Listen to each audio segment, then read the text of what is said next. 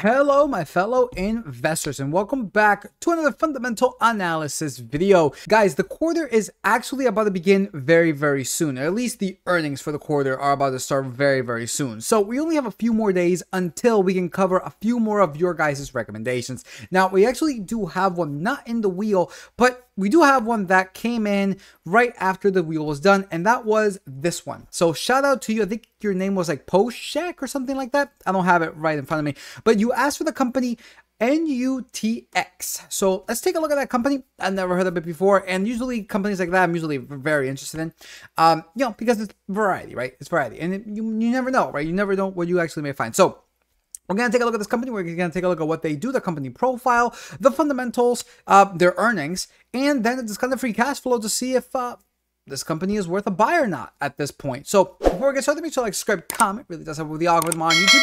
As well as remember, make sure to follow us on XFL Investing. Of course, if you like, join us on Discord. The link is in the description below. So terribly sorry that we have not been talking too much on the on the Discord, but Mike dealing with the hurricane and me dealing with my son, it's kind of just yeah. But thank you guys so much. And if you would like to get the videos as they come out, that is the best place to get them. So with that said, let's get started with this analysis. Alrighty, so here we have the company Nutex. Uh, Nutex Health. So this is actually a healthcare slash health insurance company. Very, very interesting right off the bat, right? Very, very interesting right off the bat. So let's just jump into the company profile. We got Nutex up operates as a physician-led healthcare service and operations company. It operates through three segments: hospitals, population health management, and real estate. The PHM segment establishes and operates independent physicians associations and offers a cloud-based platform for healthcare organizations to provide value based on based care and population health management. The real estate segment owns the and the, the real estate segment owns and owns and leases Okay, that's a little bit weird of a sentence right there. Uh, leases land and hospital buildings. The hospital segment develops and operates a network of micro hospitals, specialty hospitals, and hospital outpatient departments, which offers 24 7 care. So there you guys have it. It's actually a, a healthcare company mixed in with real estate. That's a little bit weird, right? That's a little bit weird. I wonder how. I wonder how like the filing of that kind of has to kind of like deals with it because real estate companies guys have a completely different type of taxation than normal companies. So it's actually really really interesting as to how they're mixed in together. At least that's just what I'm getting from the company profile. So with that, let's actually now move into, of course, their earnings because they did have earnings on August 8th. And we can see here that we don't have anything for the EPS normalized actual. Yeah, nothing. However, the EPS GAAP actual it was a beat by 14 cents, but it was still in the negative by 15 cents. And the revenue of $76.08 million, so that was beat by $7.88 million. Now, the next one, this is a company, guys, that actually doesn't have a lot of um, enthusiasm to it, right? It's fairly new company. And we can see that right here, right? I mean, we got 28 cents for the EPS normalized estimate. For the EPS GAAP estimate, negative 24 cents. And the revenue of 73.22 million. There has been no revisions. No one's looking at this company. So that may present itself as a great buying opportunity because it's not in the news, right? Now, let's take a look at, of course, their actual earnings summary, and there really isn't much of anything here. We can just see everything that we just saw on, uh, yeah, on the other tab. So with that, let's now jump into, of course, the spreadsheet. So we got the ticker for NUTX market cap of $98.98 million.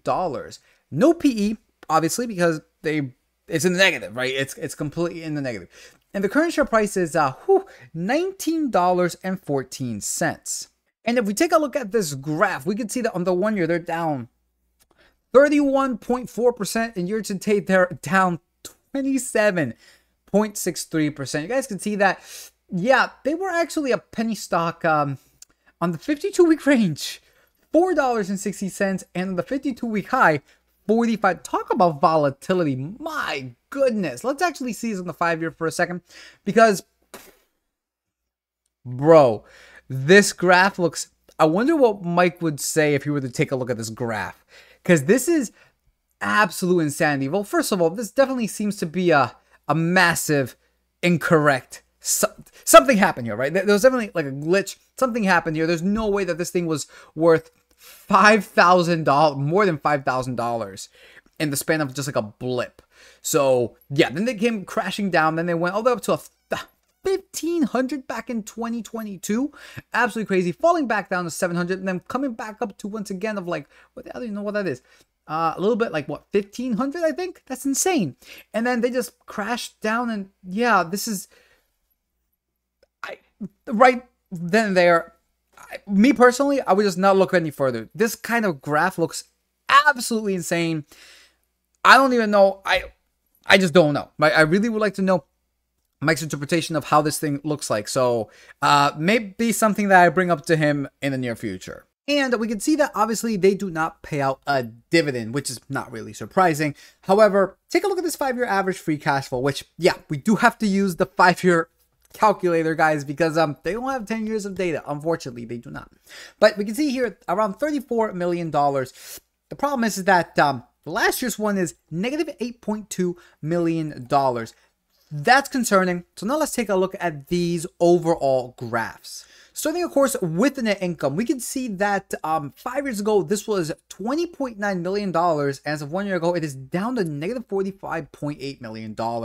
This is a big problem, right? Because you can see that from five to three, increasing, massive downturn two years ago, but then it's gone up. So this is where I'm just like, I have no idea what's happening here. Obviously, this downturn was probably due to uh, interest rates, I'm assuming.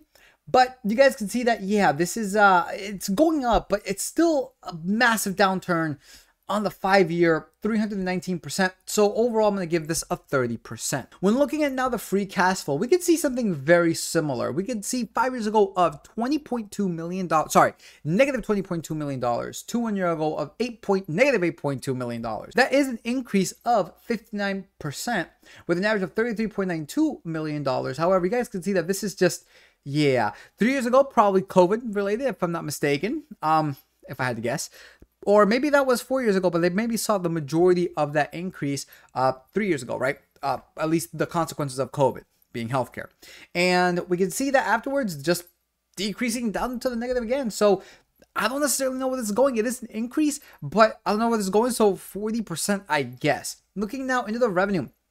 It actually doesn't look too bad. It is still a decrease though, uh, certain years here and there, but eh, we'll see. We got five years ago of $97.1 million, two one year ago of $247.6 million, increase of almost 155%. Nice consistent increase up until three years ago, dropped two they definitely struggled two years ago, right? Dropped two years ago, but they are increasing it after that. So I'm going to give them a 70%.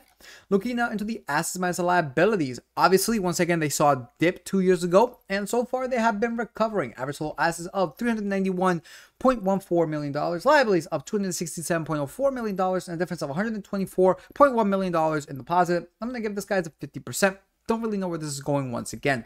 Into now the cash flow minus liabilities. Obviously, the cash flow as of the last year has been going down. Even two years ago has been going down as well, which we see that right here perfectly.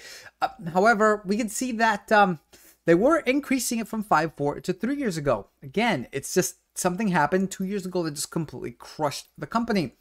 All in all, though, as of one year ago, it is negative $327 million, and the average being negative $190.72 million. I'm gonna give this a five percent. I guess. Okay, I'm gonna give this guy a. Uh, oof. Hang on a minute. No, no, no. I'm gonna give this like a thirty percent, just because I. It's just I don't know. I just don't know. It's very very difficult to determine what's going to happen even now, even this year. Into now the shares outstanding. Not really surprising, it's a new company. In fact, we don't even have the five-year goal value. I just made it the same as a four-year goal value, just so that way the numbers actually make sense. So we can see 4 million shares five years ago, technically four years ago, but five years ago, to now 5 million shares. So they are increasing shares, but it's common to see that in companies this new. Still an increase of 25% on five year and 11.11% on the previous year to the current year. Again, 50%, not really sure where this is going. And lastly, cash and equivalents, they currently hold $40.8 million with an average of $27.78 million. As an overall grade, 46%. Yeah, I would say it's a little bit less than 50%. I don't know where it's going. I really just do not know where it's going overall.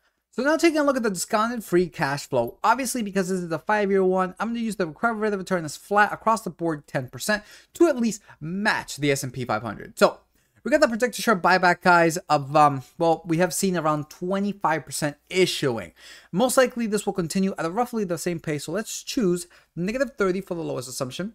Let's go with negative 28 for the median assumption. And then let's go up by two again at around negative 26%. The negative just means they're issuing. And now for the revenue growth. Okay we can actually take a look at this now. We can actually take a look at this now, which according to Seeking Alpha, the revenue forward is estimated at 16.68%. I say let's go something along those lines. I say going at around, um, let's say going around like 12, right? Um, yeah, 12, 15, and then let's go up by three again, 18%. I think that's fair. We could see, guys, $6.58 to $8.27. Yeah. I'm not going to look at the adjusting for debt because uh, it's massively negative, so really can't do anything much there. But if you guys remember, the overall 52-week uh, low was around $4, right? It was around $4, and right now the current price is $19.54. So I don't know. To me, this company, I, I, I, I can't really tell where to put it from a fundamental perspective. So I personally would just ignore it. But again, guys, not financial advice. Every investment is the present value of all future cash flow. And I'm pretty certain that Mike would say roughly the same thing that doesn't really understand, especially with that massive spike going up to 5,000. That's absolutely crazy. At least for me, though, the numbers don't make sense. The graphs don't make sense. I, I, I don't know. Right? I just do not know. Not telling anybody what to do. Obviously, not financial advice. Again, every investment is the present value of future cash flow. For me alone, though, I would have just stopped at the um, yeah, I would have just stopped at the uh, at the at the fundamentals, honestly. I would have just been like, yeah, no, no. I see the free cash flow done. I would have just stopped. So this is my personal opinion, and uh, I do not like this company at all. So all in all, hopefully this helped. It's an interesting company. I just A, don't know too much about it. B, the fundamentals aren't good. And I mean, the graph just doesn't even look good at all. And lastly, the of free cash flow just doesn't make any sense. So this is just one that I would just pass on, right? Tell me what you guys think. Do you know more about it? Do you know that I didn't cover? Which probably is a lot because I'm not going to do a full blown research into every single company I do. But tell me what you guys know. Tell me if you guys are interested in this company and why. Leave it down in the comment section below. So with that said, make sure to like, subscribe, comment. Really does help with the algorithm on YouTube as well. So make sure to follow us on Fatal Investing. And of course, if you'd like to join us on the Discord, link is in the description below. So with that said, peace out, and we'll see you all next time.